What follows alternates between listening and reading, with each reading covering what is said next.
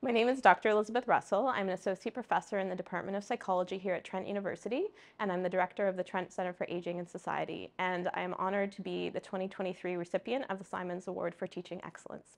This is the biggest honor of my career, and I think that's because, you know, often in these positions we apply for different things or we, uh, we compete, you know, for something. But when people come forward and nominate you for something um, separate from yourself, uh, it's very special.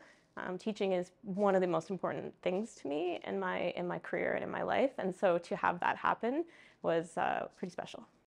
In my classrooms, it's critical for me to share the voices and experiences of people who are underserved, and that includes the specific populations that comprise the content of my lectures. So whether that includes marginalized older adults who we don't often hear from, even in a research methods course, there's significant space to do so. And for example, in my history of psychology class, I always think about how can we share the experiences of our founding uh, scientists who were women and people of diverse backgrounds, but also considering the same of my students and the people people that are sitting in front of me in the rooms in the room and what do they bring to that space? And how can I consider exactly how to communicate that message? And that's something that is always changing and growing uh, the longer I go into my career. So really thinking and rethinking about that all the time and how I can bring those two important things together is critical in my approach.